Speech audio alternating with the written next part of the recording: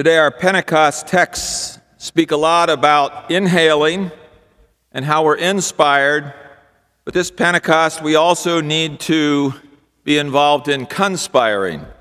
So let us pray, and then I'll try my best to explain how God's Spirit is conspiring in the bones and the wind. Let us pray. May the words of my mouth and the meditations of each one of our hearts be acceptable in your sight, O Lord, our rock and our salvation. Amen. About 2,100 years ago, King Nebuchadnezzar of Babylon captured Jerusalem and took many of its leaders into captivity, including the prophet Ezekiel. The captives were never imprisoned in Babylon. They were free. They were free to marry. They were free to build homes, free to plant crops, free to own and, and run businesses, and free to worship their God. Many thrived in this environment, but for all of them, there was always a deep yearning to go home again, to return to the life and the land they had known before. There was always a heaviness of heart that couldn't just be glossed over there was always a pain that could not be filled. There was always a sadness that moved through their bodies and could be felt right down to their bones. We can identify with Ezekiel and his compatriots in exile. Although we are beginning to return to our new, new normal, there is a lament, there is a weeping, there's a yearning deep in our bones. We long to fully return. We long to hold each other. We are trying to remember what this place that has been taken from us feels like and looks like and smells like and tastes like. We yearn to return. We are trying to remember what each of our loved ones here looks like and feels like. The separation is still very real. The loneliness for many of us is still palpable. The longing is real, and for some of us on given days, it hurts. However, we are blessed as people of God to know that this story doesn't end here. It never ends here. Although exile and separation feel so close, we know that God's story and God's creative energy never ends in emptiness and despair. It simply has its beginning there. God's story is a never ending tale of resurrection hope. God rises when others collapse. When others give up, that's when God shows up. Here in Ezekiel 37, God takes his prophet Ezekiel by the hand while in exile and leads him into Death Valley, the valley of dry bones. As far as the eye can see, there are dry bones strewn everywhere. There is this valley, valley of dry bones in which God calls the prophet to do something in the presence of God.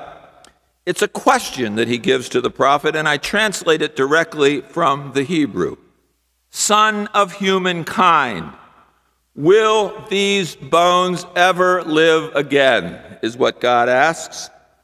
And Ezekiel replies, You, my Lord God, who reveal your loving kindness and justice, only you know the answer. So God commands Ezekiel with the answer. God commands Ezekiel to prophesy these words to those bones.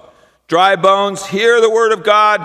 Thus says the Lord God, who reveals his loving kindness and justice, spoken to these bones Behold, I will bring spirit into you, and you will live again.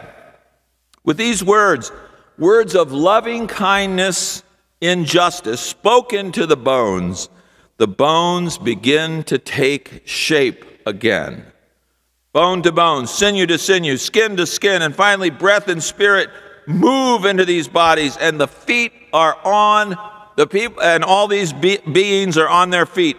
a very great host. Now, these bones don't only rise and take life again, they return to the fullness of life and they return home.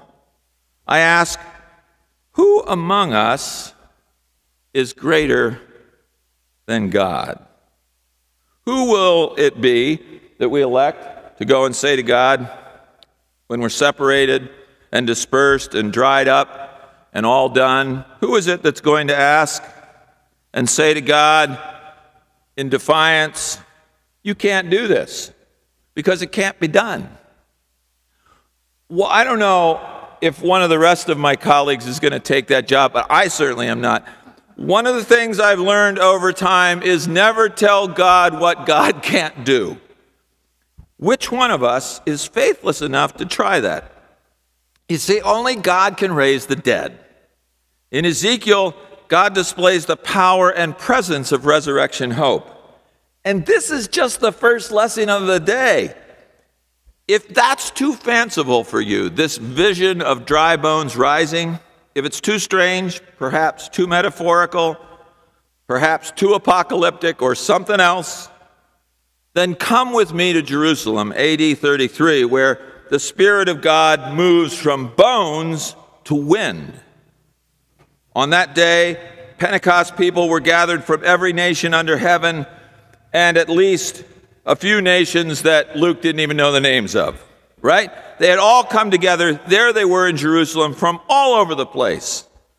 It sounds to me like a sunlit version of New York's Times Square on New Year's Eve. Jerusalem is crowded and festive. There are high spirits, bad manners, jostling, jostling, bargaining going on everywhere. It's bizarre, and the, and, and the, the metropolis itself is a bazaar.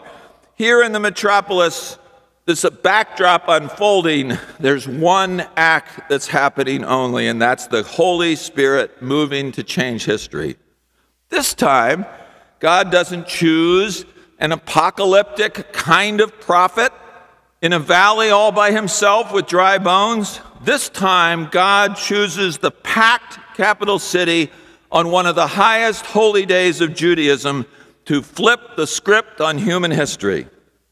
When the day dawns, there are about 120 Jesus movement people moping around, wondering what they're going to do next without a Savior.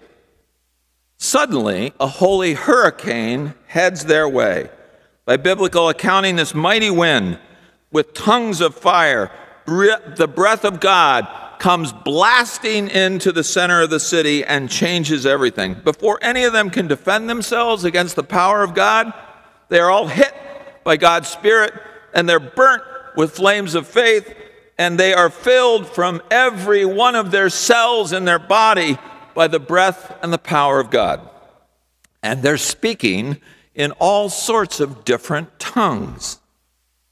And this Times Square like crowd at midday, not midnight, hears them speaking and understands that these simple Galileans, none of whom has a PhD or a high school education or understands any Middle Eastern language, has just changed everything.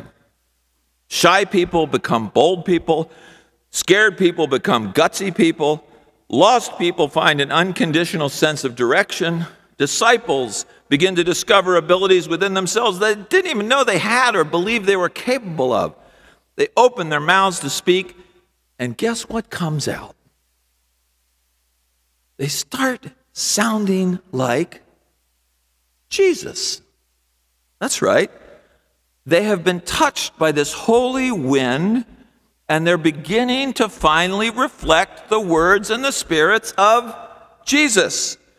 They touch people who are sick as though Jesus is there doing the healing and those people are healed.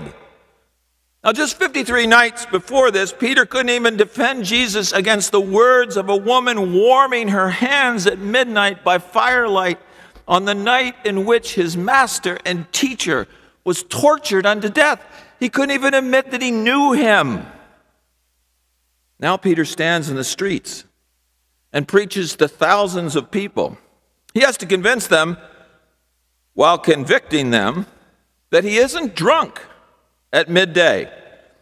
He is so bold on this day that he delivers something that there's no preacher in the history of the world has done since. He delivers a six part sermon.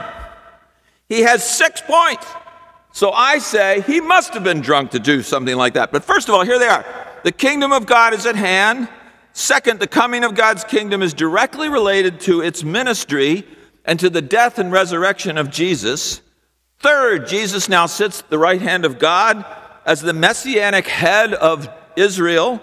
Fourth, the Holy Spirit has come upon them as a sign of Christ's presence and glory. Fifth, the messianic age will shortly reach its consummation and Christ will come again. And finally, all who hear this message must repent, ask for God's forgiveness, receive salvation, and enter into the power of the Holy Spirit. That's really cool. He delivers all of that with power and presence. And when Pentecost ends, the Jesus movement has grown from 120 people to 3,000 it now has a new name. It's called the Kyriakos, those of the Lord. And there's no explanation for what happened that day except that newcomers and disciples have been overwhelmed by the breath of God. They sucked in God's own breath, and they were absolutely changed and transformed by it. They heard and felt good news, and they were transformed by it. Folks who had been inhaling fear and uncertainty breathed in new life and began to exhale faith and boldness. Those who were worn out from exhaustion and buried on the trail were renewed and revived so much that they each broke into and let out a new breath, the breath of God. And this is where inspiration turns to conspiration. Let me explain. To conspire means literally to breathe together. To conspire means to breathe together. So let's try this. Let's conspire together by breathing together. Let's all take a breath. Everyone, take a breath. And take another one. and take a third one just to show COVID how tough we are. There you go. We have all just launched a conspiracy. Can you hear the word spirit in there? To conspire means to literally be filled with the same spirit, to be enlivened by the same wind. What happens when we come together in worship is that the Holy Spirit swoops in among us, knits us together, through, through songs and anthems, through children's time and adult time, through prayers and litanies, through baptism and Holy Communion, our many breaths become one breath. Our many and varied voices become one. For a point in time, one voice. And the breath of God becomes the, cons- the conspiring fire for community in Christ. Thousands of years ago, God asked Ezekiel, can these dry bones live? And Ezekiel said, I don't know, but I know you know. The way God shared knowledge then was to send the Holy Spirit, the Ruach, the breath of God, to lift the bones. And they came together. And in the same way, the question came back much, much later. 600 years later, it comes back again. The hurricane of the Holy Spirit sweeps through the despairing and dried up people on the first Pentecost and sets them on fire for God. All of this is, is nice. It's really nice. It's great literature. We have powerful images. But what about us? What about God coming right now to you, right where you are, right here, right now? What about fire and power and spirit and breath of God for this day, for this time, for your life, for this community. See, I believe that the Spirit is conspiring as we speak. Vaccinated, we are on our way back to health. By the way, part of the conspiracy of hope. I quoted him a million times already since he said this a few weeks ago. Dr. Andy Thomas of, w, uh, of OSU Wexner Medical Center said, The vaccine is like a brick wall, and COVID hits that wall and falls powerless to the ground. The image of COVID 19 dead on the ground with no chance of rising, by the way, is quite beautiful to me. I saw two statistics this week that I shared with some of you. Since January 2021, so five months ago, over 99% of all hospital admissions with COVID 19 have been unvaccinated people. 99%, over that. And over 99.8%, which is almost 100% of all COVID related deaths since January, have been unvaccinated people. So if you want to spread love, get a vaccine. If you want to spread COVID, don't. But let's not do the second thing because we are filled with the Holy Spirit and we actually want to come together to spread love again. But beyond the pandemic, I see the conspiring of the Holy Spirit in our faith community. I'm aware that I feel something very special happening at First Church. I'm going to call it a conspiracy a conspiracy of reconciliation, a conspiracy of faith, a conspiracy of grace, a conspiracy of hope, a conspiracy of love. This Pentecost Sunday, we are growing while we are apart. We added 16 new members in the past eight days to First Congregational Church. Let's say their names Elijah and Samuel, Elias and Ruby, Abigail and Maya, Jacob and Lila, LJ and Mary Jo, Beth and John and Chris and John and Karen and Janice. All 16 of these people of faith are amazing to me. Thanks be to God for each one of you. Some of you have never entered this house of worship, never. Some of you have come in only once. But nevertheless, you have joined us on this journey of faith. Now, that's a conspiracy of faith, if I ever heard of one.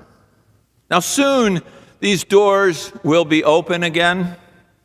You will return stronger and you will return changed by the journey of the past 14 and 15 months.